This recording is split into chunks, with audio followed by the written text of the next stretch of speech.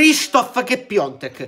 Krzysztof che Piontek. Ragazzi miei, siamo al 92esimo minuto, mancano due minuti di recupero, ma attualmente il Milan se la sta portando a casa. Parliamo di Coppa Italia e qualora dovessero passare affronterebbero la vincente tra Lazio e Inter. Ipoteticamente potrebbe essere un derby, ma potrebbe anche essere un Milan-Lazio.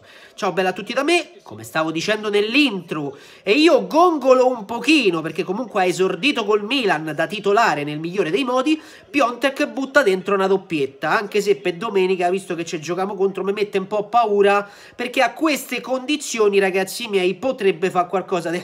speriamo di no.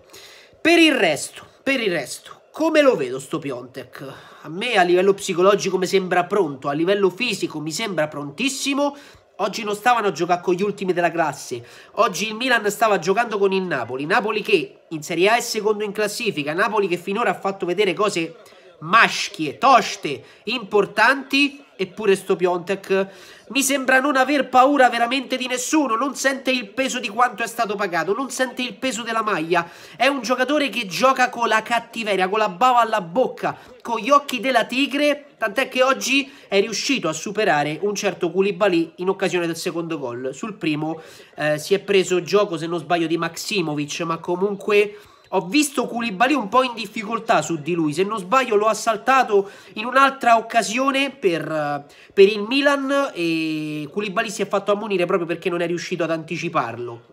Quindi ragazzi non voglio bruciarlo perché ripeto ce l'ho a fantacalcio e mi serve che mi faccia qualche golletto tosto. Però bisogna comunque aspettare, l'esordio è stato bellissimo a mio parere.